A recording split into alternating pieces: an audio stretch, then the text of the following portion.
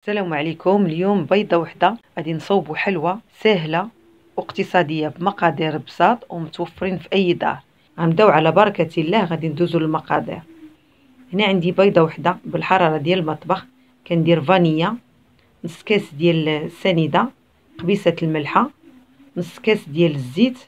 صافي كنخلط العناصر كلهم. أنا خدمت بالطراب اليدوي خلطتهم مزيان مع بعضياتهم تبان كلهم. ندمجوا العناصر. صافي ما كيبانش هنا الزيت راه معزول على العناصر كيتخدموا مزيان.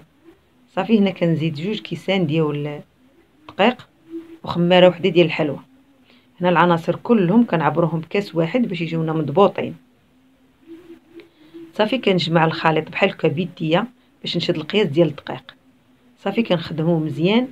هنا إلا بان الخليط باقي شوية خفيف كنزيد شوية ديال الدقيق تقريبا واحد نص كاس ديال الدقيق. بحال عندنا جوج كيسان ونص ديال الدقيق. كتقدروا تزيدوا هذاك النص الكاس تقدروا ما تزيدوش على حساب النوعية ديال الدقيق. صافي كنجمعو مزيان بحال هكا شوفوا كي جات كتجي بهاد الطريقة ما هي خفيفة ما هي ثقيلة بين وبين. خديت هنا اللاطه درت لها الورق الورق ديال المطبخ. آه إلا كان متوفر عندكم ما متوفرش ماشي ضروري. هنا خديت الطبسيل درت فيه ثلاثة المعالق ديال السنيدة وثلاثه المعالق ديال الكوك. صافي كنبدا نشكلهم كويرات هنا درتهم شوية متوسطين. كنكبروهمش بزاف حيت كيضاعف الحجم ديالهم صافي كنبدا نشكلهم بحال هكا وكنحطهم في الطبسيل اللي فيه الكوك والسنيدة. كنشكل واحد الكمية بحال هكا. صافي وكن ندوزهم في الكوك والسنيدة من الفوق ومن التحت بحال هكا كيما شفتوا صافي حتى كندوزهم كلهم. ها نتوما شفتوا الطريقة كيفاش؟ صافي كنحطوهم.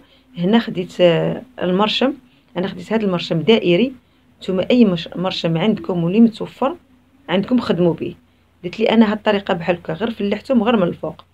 بحال هكا درت ربعة كنحاول نوركم ما نوركوش بزاف بين وبين.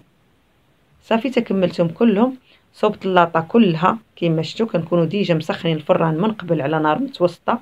كنديروا اللاطه الفوق وكتكون العافية من التحت صافي ملي كيطيبوني لتحت كنهبطوهم كيتحمروا لنا من الفوق بهذا الشكل هكا. صافي وكنخرجوهم غنحاولوا ما نغفلوش عليهم تقريبا كطيب لنا واحد ثلث ساعة ما بين التحت والفوق بحال بحال.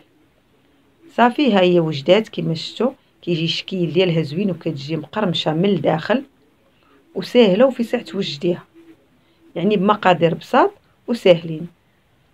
غير صوبوها راه غادا تعجبكم واللي صوبتها تكتبها ليا في الكومونتير وتقول لي كي جاتها. بالصحة والراحة.